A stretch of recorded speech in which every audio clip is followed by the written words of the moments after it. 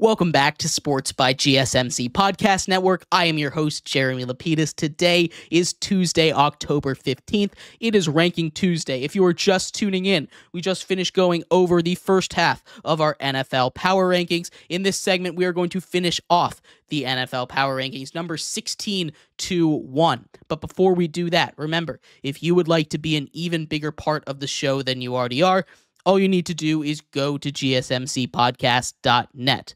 Leave a tip or donation with a message in it. That message should pop up on the bottom of the screen for you, me, and everybody else around the world to see. You can do the exact same thing with the super chat feature on YouTube. Again, you do either of those things, a message should pop up. If you have a burning question about sports, anything at all that you would like to ask, go ahead and throw that in the comments. Throw it in the chat. I will get to it as soon as I possibly can. I appreciate everybody so much for sticking around, talking some sports with me here on a beautiful Tuesday, October 15th. But like I was saying, we are going to get back into our NFL power rankings here. Looks like we're still having those issues. At number 16, in our NFL power rankings, we have the New York Jets. They get their new receiver, Davante Adams. Again, this list was made before that trade was happening, but still, I was impressed by the Jets a little bit last game. Their biggest issue in the first five weeks of the season had been their offense. Aaron Rodgers not on the same page with his receivers. He looked solid, completed a Hail Mary. The defense continued to play good, especially in that second half, shutting down the Bills for most of that half. Excuse me. Aaron Rodgers looked really good. That was his best game in a Jets uniform, and now he adds Davante Adams. This is a team that I think is squarely in the playoff conversation. Andre asks, "There's Micah Parsons trade rumors sparking. Have the Cowboys lost their minds?" They're not going to trade Micah Parsons unless they think there's a zero percent chance of re-signing him, and then maybe they will. But I don't think Jerry Jones uh, can let go of his pride enough to do that. Uh, we talked about how the Cowboys are number 24 on our list, in case you missed that.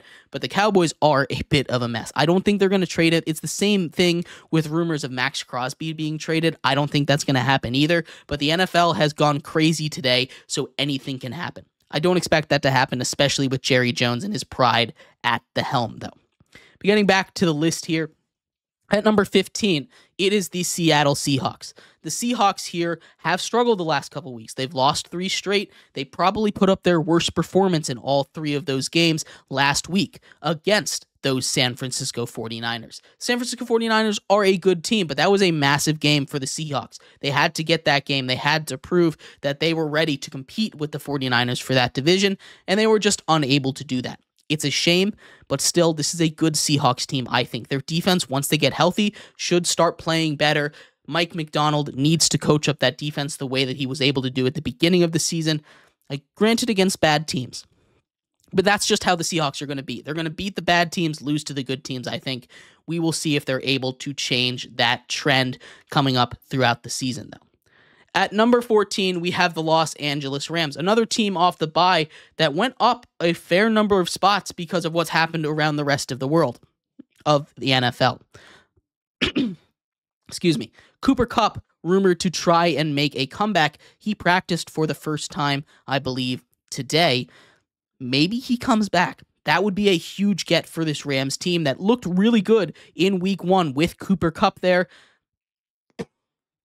That offense has not been the same without him on the roster. They desperately need their weapons back if they want to make a run at the playoffs in a weak NFC, at least a weak bottom half of the NFC.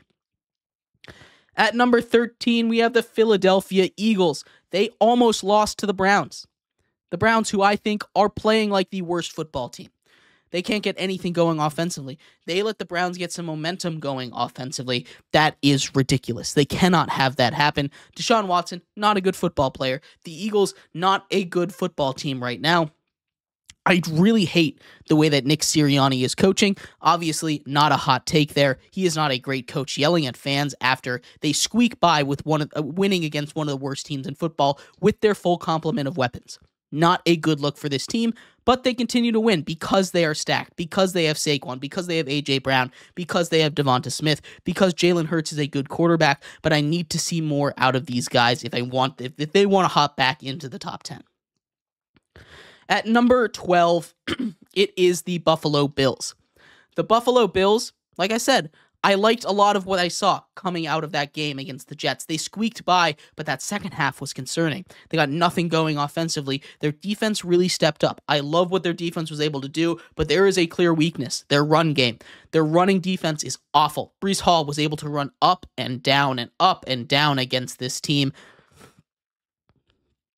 And Breece Hall's a good running back, but he's been unable to get that going all season long.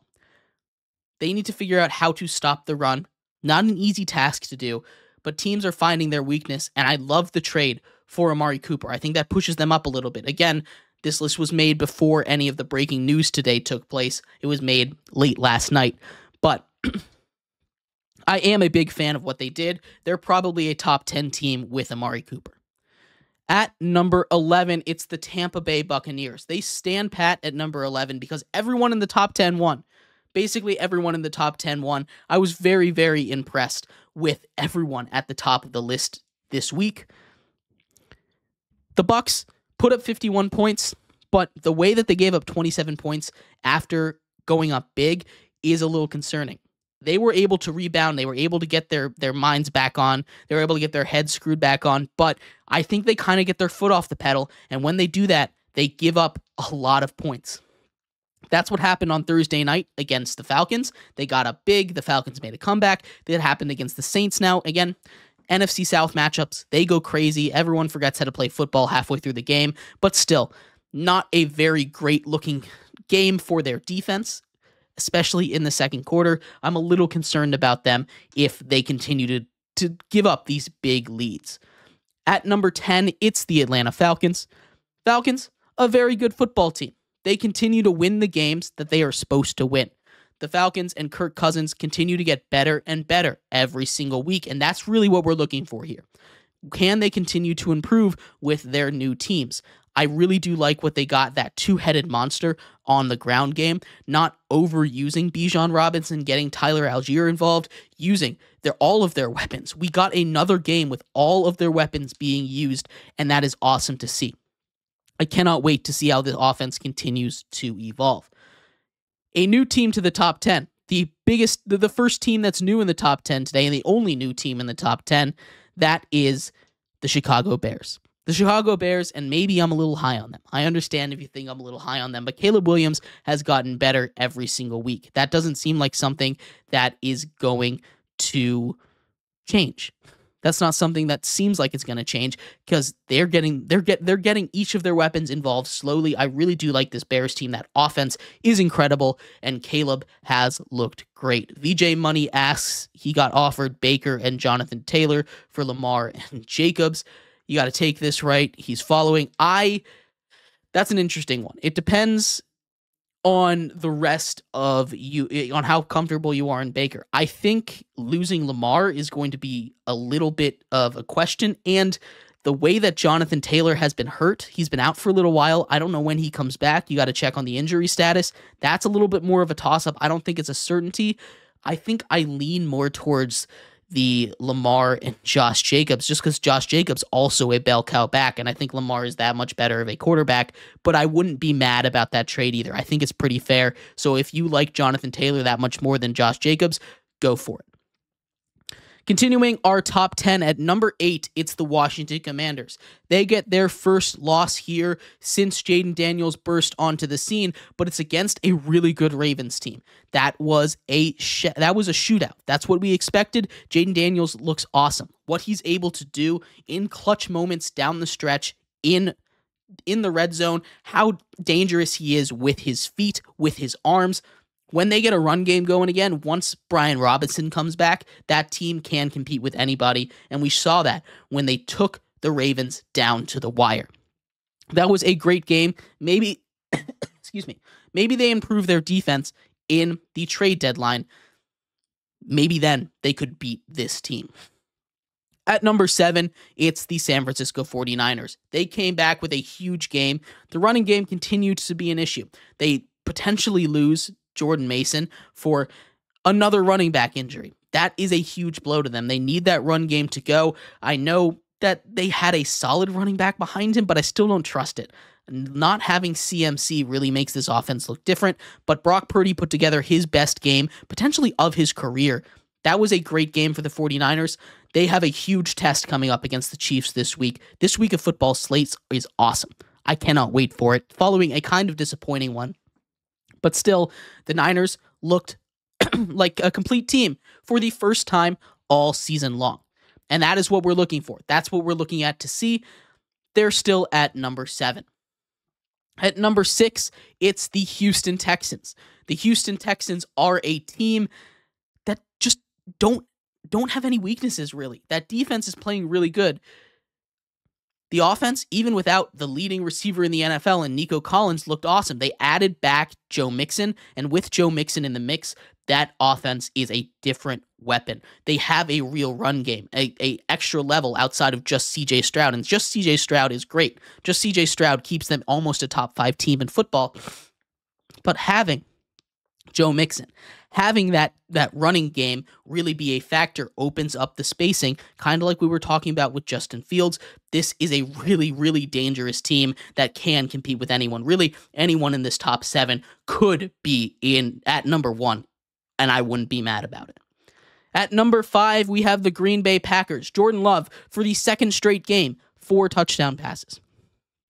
That is crazy. He has been playing awesome. Romeo Doubs comes back, scores two touchdowns. Christian Watson scores a touchdown. Their young weapons are great. That is going to be an explosive, explosive offense. And if that defense continues to play the way that they did against the Cardinals, they can destroy just about anybody.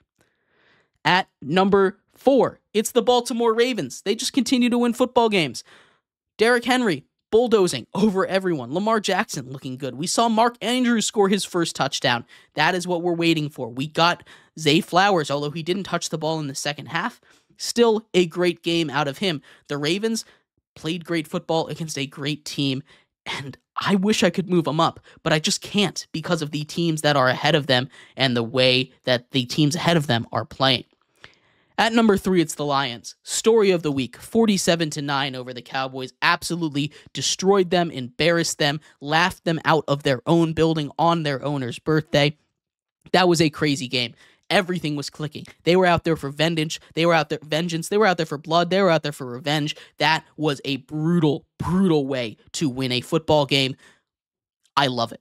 that was so much fun to watch. This is a different Lions team. They are tops in the NFC, or arguably the top. We get a battle between them and the number two teams, these the Minnesota Vikings this week, and that should be an amazing game. Like I said, lots of great games this on this week's slate. The Vikings are at number two on a bye. I really thought about moving the Lions up, but they lost Aidan Hutchinson, so I kept them at three.